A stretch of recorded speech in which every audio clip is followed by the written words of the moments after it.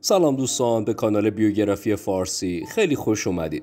مرسی که کانال ما رو انتخاب کردید و اگه هنوز عضو این کانال نشدید با زدن دکمه subscribe عضو کانال ما بشید و با زدن علامت زنگوله از آخرین ویدیوهای ما با خبر بشید.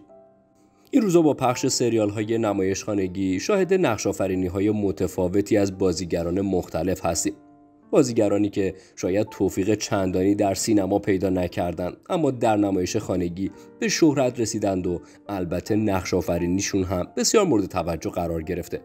رنا آزادیور رو میشه یکی از این بازیگران دونست. بازیگری که تفاوت بازی او در اولین فیلمش مارمولک و پارکوی تا نقش در سریال جیران و زخم کاری و حالا سرگیجه که در حال پخشه کاملا مشهوده.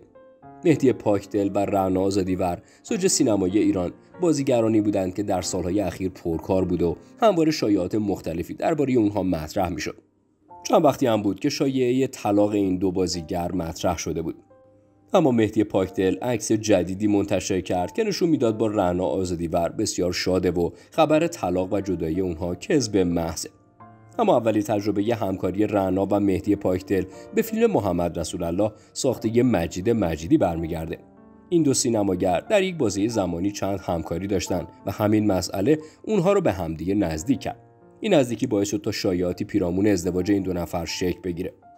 مهدی پاکدل نسبت به رعنا آزادی ور تجربه و سابقه بیشتری در سینما داره و آثار بیشتری بازی کرده. اما این دو نفر در دو اثر هم همبازی بودند. چهارراه استانبول به کارگردانی مصطفی کیایی و محمد رسول الله به کارگردانی مجید مجیدی. بسیاری از منتقدان سینما چهارراه استانبول رو بهترین نقش آفرینی پاکدل می‌دونن. از طرفی آزادی ور کارنامه قابل دفاعی داره و با کارگردانهای مطرحی از جمله اسخر فرهادی در فیلم درباره الی و همعن سیدی در خشم و حیاهو همکاری کرده. آلبوم رگ خواب همایون شجریان که در اسفند سال 95 منتشر شد شامل یک قطعه به نام ابر میبارد بود. ابر میبارد. موزیک ویدیوی عاشقانه داشت که نقش اصلی اون رو رعنا آزادیور و مهدی پاکدل بازی می‌کردن. این موزیک ویدیو که اون روزها حسابی دست به دست می‌شد و برخی به شوخی و جدی از نقش این موزیک ویدیو و آهنگ همایون شجریان در آشنایی و ازدواج این زوج می‌گفتند رعنا آزادیور متولد 17 فروردین 1362 در تهران و بازیگر سینما، تلویزیون و تئاتر.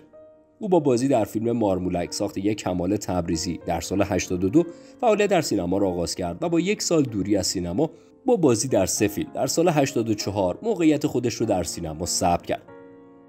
رنا آزادیور با بازی در فیلم پارک وی ساخته فریدون جیرانی در سال 85 برای بار نخست بازی در نقش اول رو همراه با نیما شاهی تجربه کرد. بعد از دو سال دوری از فعالیت هنری از سال 84 با فیلم هوو به کارگردانی علیرضا داوود نژاد به عرصه بازیگری بازگشت.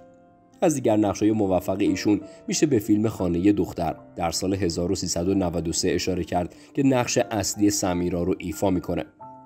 خانم بازیگر اولین بار در سال 1396 وقتی 34 ساله بود با تئاتر خانه بوشاس به دراز دست به کارگردانی علی اتحاد روی صحنه رفت.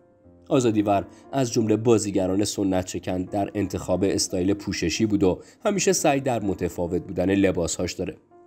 طرح لباسای او معمولا بخشی متفاوت و غیر معمولی رو در خودش گنجونده که فرمی عجیب یا دامنی غیر معموله که حتی این موضوع رو میشه در رنگ ها هم مشاهده کرد اما مهدی پاکتل همسر خانم بازیگر متولد دهم تیر 1359 در اصفهان بازیگر سینما و تلویزیونه ایشون دانشجوی انصرافی رشته گرافیک از دانشگاه آزاد تهرانه که در کنار بازیگری خوانندگی رو هم تجربه کرد و حالا در عرصه مدلینگ هم حضور موفقی داره.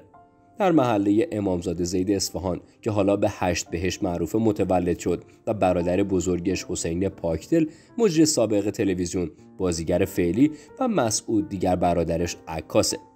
از نوجوانی به فیلمبین حرفه‌ای تبدیل شد و مرتب به سینما می‌رفت و عاشقانه سینما رو دوست داشت. تا اینکه به تهران اومد و برای گذراندن زندگی کار تدوین می‌کرد در کنار کار تدوین در سال 1376 با نمایشی به نام جنبش انفیه در کلکته به کارگردانی سیروس شاملو اولین تجربه خودش رو در بازیگری به دست آورد.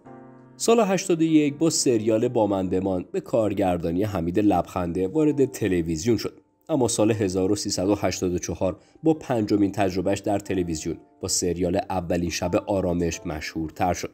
مهدی پاکدل 13 اسفند 1389 در سی سالگی با بهنوش تبا تبایی بازیگر 29 ساله ازدواج کرد. آشنایی اونها از فیلم مصائب دوشیزه در سال 1385 شروع شده بود. در نهایت اما مهدی پاکدل و همسرش بعد از 6 سال زندگی مشترک خبر طلاق خودشون رو در سال 95 رسانه‌ای کردند که مدتها در رسانه های مجازی باستاب زیادی داشت. آقای پاکدل در مورد شایعه کنارگیریش در تلویزیون گفته بود تا زمانی که رسانه ملی برای مردم نباشه با اون کار نمی‌کنم. آقای پاکدل بعد از تجربه بازی در فیلم سیاسی ماجرای نیمروز در سال 95 در نقش مسعود کشمیری وارد عرصه مدلینگ و فوتو مدلینگ شد. سال 94 به دنبال درخواست محمد جواد بیلرزاده آهنگساز و آقای حسن جنت مکان شاعر برای خوندن چندین دکلمه دعوت میشه. به این ترتیب بود در این آلبوم 13 قطعه ای اولین و آخرین تجربهش رو به دست آورد. اما روند اعلام جدایی مهدی پاکدل از بهنوش تبا تبایی هم جالب بود. ماجرا از این قرار بود که صفحه شخصی مهدی پاکدل در اینستاگرام هک شده بود و همه عکسای دو نفرشون پاک شده بود. البته ایشون بعد از مدتی مالکیت صفحش رو پس گرفت ولی همچنان خبری از عکسای خانوادگیش نبود. از طرفی بهنوش تبا تبایی هم در اقدامی ضربتی خودش همه عکسای دو نفرش با همسرش رو از صفحش پاک کرد. مدتی هم بعد خانم بازیگر در افتتاحیه فیلم سیانور شرکت کرده بود و بدون حلقه ازدواج رویت شد. چند وقت بعد هم روزنامه ایران با چاپ گزارشی از نحوه جدایی این زوج مهر تأییدی به شایعه جداییشون زد. در این گزارش اومده بود که در دادخواست طلاق اونها هیچ دلیلی برای جدایی نوشته نشده بود و در روز دادگاه هم وکلاشون به نمایندگی از اونها حاضر شدن. مهدی پاکتل علاوه بر بازیگری مختصر فعالیتی در زمینه کارگردانی هم داره. او در سال 82 فیلم کوتاه رقص مردان روی شیب رو کارگردانی کرد که در جشنواره فیلم‌های کوتاه سونی و در کشورهای اسپانیا، آمریکا و غیره به اکران در اومد. اما سریال جیران به کارگردانی حسن فتی و تهیه کنندگی اسماعیل عفیفه در نمایش خانگی بود که بخش اون از اواخر سال 1400 آغاز شد.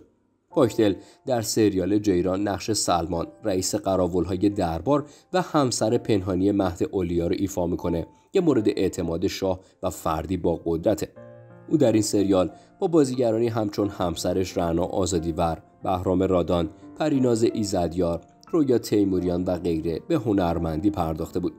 حالا این روزها بازی رعنا آزادیور در سریال سرگیجه بسیار مورد توجه قرار گرفت و به شدت مورد چالش قرار گرفته.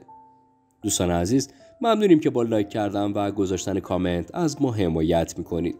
اگر می‌خواید از آخرین ویدیوهای ما با خبر بشید ما رو subscribe کنید و زنگوله کنارش رو هم بزنید. تا برنامه بعد خدا نگهدارتون.